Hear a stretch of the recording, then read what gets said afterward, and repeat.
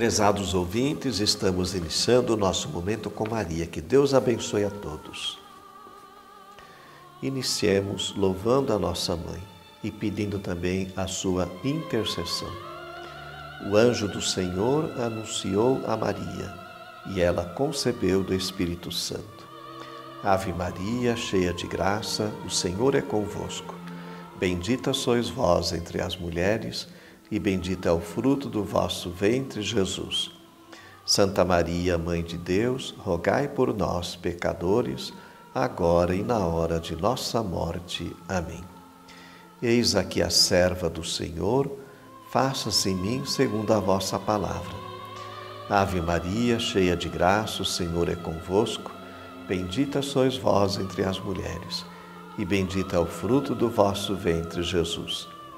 Santa Maria, Mãe de Deus, rogai por nós, pecadores, agora e na hora de nossa morte. Amém. E o Verbo se fez carne e habitou entre nós. Ave Maria, cheia de graça, o Senhor é convosco.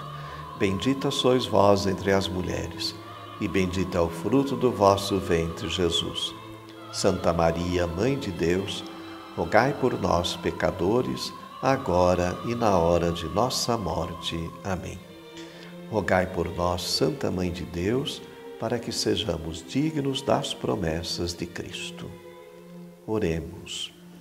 Infundi, Senhor, em nossos corações a vossa graça, para que, conhecendo pela anunciação do anjo a encarnação do vosso Filho, cheguemos também, por sua paixão e morte na cruz, à glória da ressurreição pelo mesmo Cristo, Senhor nosso. Amém. O documento de Aparecida traz para nós esse ensinamento, irmãos.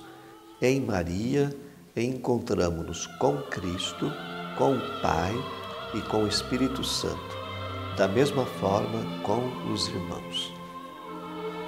Senhor, dai saúde aos doentes e conforta a todos aqueles que sofrem. Abençoai a água, criatura vossa que ela seja sinal da vossa presença, saúde para o corpo e para a alma.